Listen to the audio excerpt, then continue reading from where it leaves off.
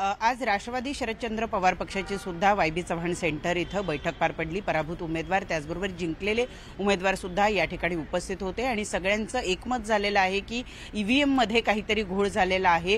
त्यांच्या मतदारसंघामध्ये जे त्यांचे बूथ आहेत त्या बूथवर सुद्धा त्यांना कमी मतदान झालेलं आहे. अशोक बापू पवार आपल्याबरोबर आहेत. शिरूर मतदारसंघातून ते उभे होते.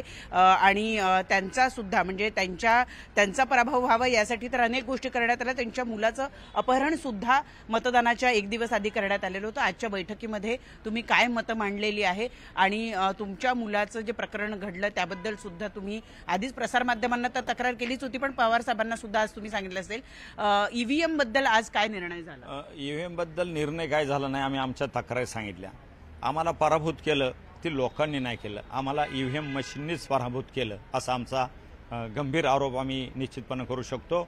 आम्हाला पारदर्शकपणे निवडणुका भविष्यात करायच्या असेल तर त्याला बॅलेट पेपरवरतीच मतदान घेतलं पाहिजे. मग जिल्हा परिषद पंचायत समिती नगरपालिका महानगरपालिका ह्या ज्या काही निवडणुका येणार आहे त्या बॅलेट पेपरवर घेतल्या तरच लोकांचं समाधान होईल हे निश्चितपणे मी सांगतो. परंतु मग सगळे जे इतर उमेदवार होते जशी ही तुमची प्रतिक्रिया इतर उमेदवारांची अशीच प्रतिक्रिया होती का? आणि त्यावर पवार साहेबांनी काय आदेश दिले?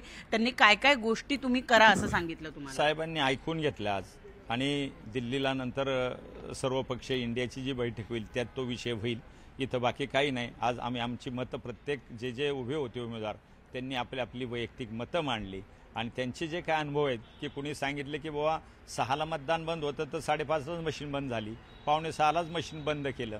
ते रेकॉर्ड झालं तसं तक्रारीचं पत्र दिलं परंतु त्या ठिकाणच्या अधिकाऱ्यांनी सांगितलं ते फेटाळून लावलं. अशाही काही तक्रारी आजच्या त्या आमच्या मिटिंगमध्ये झाल्या.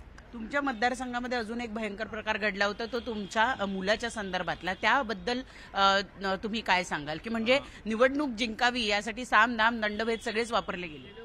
समोरच्या माणसं सगळी करतात. दुर्दैवाची गोष्ट आहे की आज माझा मुलगा नाही तर तो एका कारखान्याचा चेअरमन आहे. त्याला मोटरसायकलीवरती एक इथं काही मतदान आहे. तर तो गाडीत निघालेला असताना त्याला एकट्याला नेलं. एकट्याला नेल्यावर तिथल्या बेडरूममध्ये त्याला बसवलं. आता लोक येतात म्हणून सांगितलं अचानक चार माणसं आत शिरली. आत शिरून त्याचे हातपाय बांधले. त्यांनी हालचाल करायला लागल्यावरती त्याच्या नक्की. प्रणाली धन्यवाद माहिती दिल्याबद्दल.